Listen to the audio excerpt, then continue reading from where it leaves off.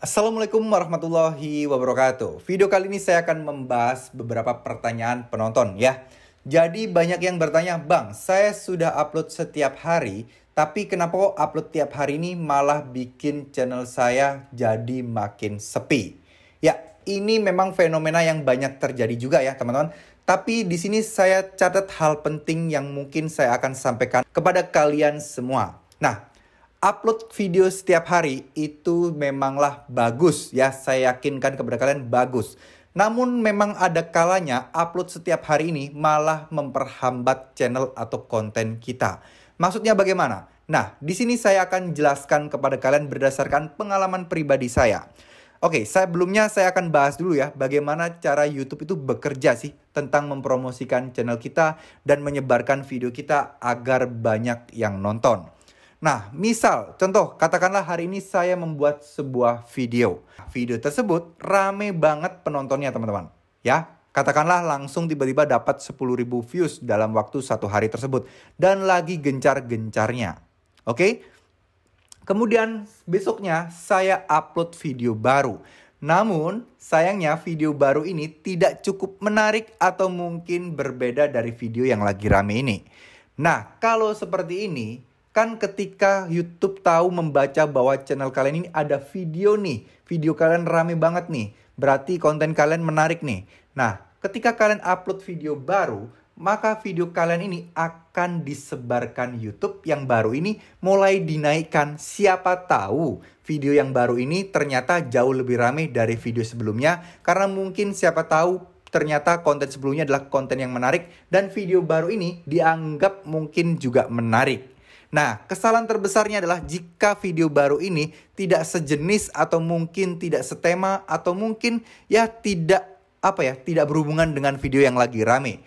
Nah, biasanya alokasi untuk rekomendasi video yang lagi rame ini akan direkomendasikan dan dialihkan pada video kalian yang terbaru. Ya, gampangannya simpelnya kalian buka tab subscription ya. Di tab subscription ini kalian kan akan melihat video-video terbaru dari channel-channel yang kalian subscribe. Nah, video kalian yang rame tadi akan tenggelam dan akan lebih dulu ditongolin kepada teman-teman atau penonton ini video kalian yang terbaru. Nah, kalau video kalian yang terbaru itu jauh lebih bagus dibandingkan video yang sebelumnya yang rame itu, maka channel kalian akan rame dan langsung nanjak banget.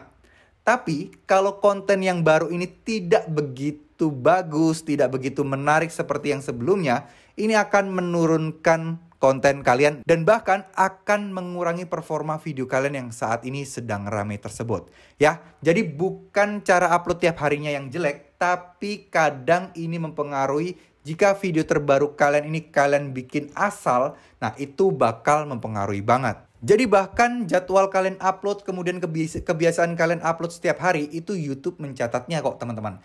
Jadi saya sering banget coba eksperimen ya. Biasanya itu saya upload itu di jam setengah delapan malam ya. Nah ketika saya upload video di jam 1 siang atau jam 12 siang itu bener-bener sepi banget dan performanya nggak kayak biasanya.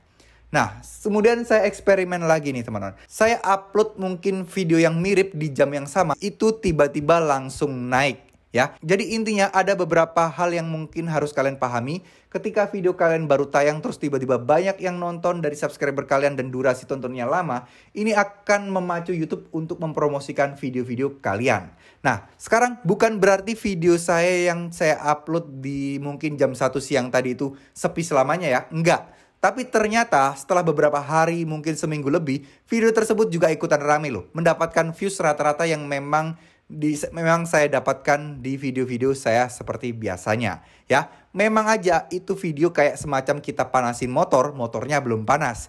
Semacam kayak kita mempromosikan sebuah video atau mungkin saat pertama kali tiba-tiba nggak ada yang nonton karena YouTube tidak merekomendasikan video kalian kepada penonton-penonton kalian biasanya. Karena apa? Karena kalian biasanya jam setengah delapan baru kalian upload. Nah, terus kemudian apakah seperti ini akan berjalan selamanya? Enggak. Saya mencoba rutin untuk upload video setiap hari itu dua kali. Ya, rutin di jam 1 dan di jam setengah delapan. Nah, ujung-ujungnya apa? Nah, sekarang di video jam 1 pun mempunyai performa yang sama di video yang diupload di setengah delapan malam. Jadi apa sih? Ini menandakan bahwa YouTube itu mencatat kebiasaan kita dan dia akan memilihkan cara yang optimal untuk merekomendasikan video kita kepada orang-orang atau calon penonton kita, teman-teman.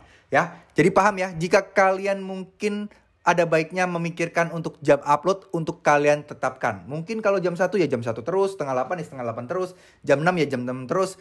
Atau mungkin kalau kalian ingin ubah jam, ya itu tadi pakai cara saya, nggak apa-apa. Kalian uh, kalau misalnya tiba-tiba sepi, ya udah nggak apa-apa, biarin aja. Nanti YouTube akan mulai memperbaiki algoritmanya. Nah kalau pengen cepet, ya kalian upload dua kali. Dari upload jam 1 sama upload jam setengah 8. Nah nanti mungkin kalian bisa tinggalkan yang setengah 8 jika upload jam 1 udah mulai bisa rame dengan sendirinya. Ya gitu ya teman-teman ya. Ini hanya sharing aja jadi faktor sebenarnya bukan karena kalian rajin upload ya enggak. Tapi karena konten atau video kalian ini memang menarik apa enggak. Gitu aja teman-teman. Tapi percayalah upload setiap hari jauh lebih baik dibandingkan kalian jarang-jarang upload dan konten kalian mungkin tidak bagus-bagus banget kualitasnya. Sekali lagi konten yang bagus bukan dari kualitas video tapi dari ketertarikan penonton untuk menonton video tersebut sampai selesai ya banyak kok channel-channel di luar sana yang jarang upload, yang upload mungkin kadang seminggu sehari, tapi viewsnya tetap sangat tinggi, itu banyak. Tapi kalian perhatikan, storytelling mereka, kemudian cara penyampaian mereka, itu juga sangat-sangat bagus teman-teman. Ya, Jadi saya sendiri jujur merasakan upload setiap hari itu tetap ada minusnya. Minusnya yaitu tadi ya, jika upload terbaru tidak sesuai ekspektasi penonton yang lama, ini akan menurunkan performa channel kita dan kita akan ketergantungan di situ-situ aja.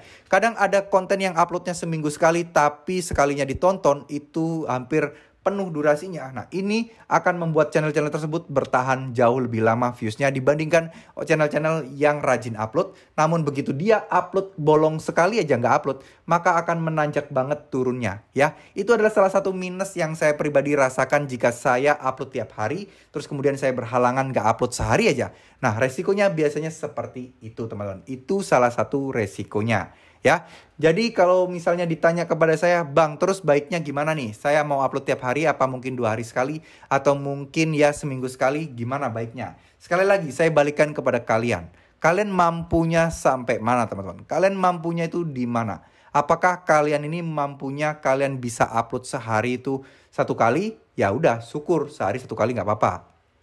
Tapi kalau kalian mampunya itu mungkin dua hari sekali, asal kalian bisa menjaga konten kalian, itu pun juga cepat. Tapi kalau kalian tidak yakin dengan konten kalian, ada baiknya kalian memikirkan untuk bisa satu hari satu kali. Ya, semakin banyak video, semakin banyak pula peluang-peluang video yang bakal naik, peluang-peluang video yang bakal rame, dan peluang-peluang video yang mengangkat channel kalian yang membuat video-video yang lain bakal ikutan rame teman-teman. Ya, Semoga video ini bisa bermanfaat. Sekali lagi saya ingatkan, jika kalian baru mencoba sebulan, dua bulan, tiga bulan, tapi masih sepi juga, jangan putus asa.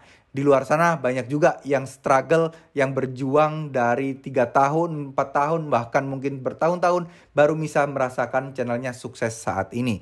Jangan malas untuk mencoba, jangan malas untuk mencoba hal baru, dan mempraktekkan hal baru. Siapa tahu rezeki kalian itu ada di sana.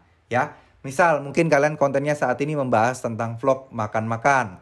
Nah, terus kemudian kalian iseng nih membahas tentang konten mainan anak. Nah, siapa tahu itu yang rame dan itu yang jadi rezeki kalian, ya. Jadi kalau kalian ada waktu luang, jangan malas untuk coba-coba hal baru, ya. Banyak kok contohnya, banyak banget di luar sini contohnya mungkin yang bikin konten komedi, masak-masak terus tiba-tiba dia cuman bikin konten yang bercerita tentang kehidupan sehari-hari, tiba-tiba ramenya di situ. Ya, ini nggak ada yang tahu, ya. Saya bilang usaha terus maksimal, jangan mau dikalahkan oleh keadaan, jangan mau dikalahkan oleh views yang sedikit. Siapa tahu setahun kemudian atau mungkin beberapa hari kemudian kalian bisa langsung sukses.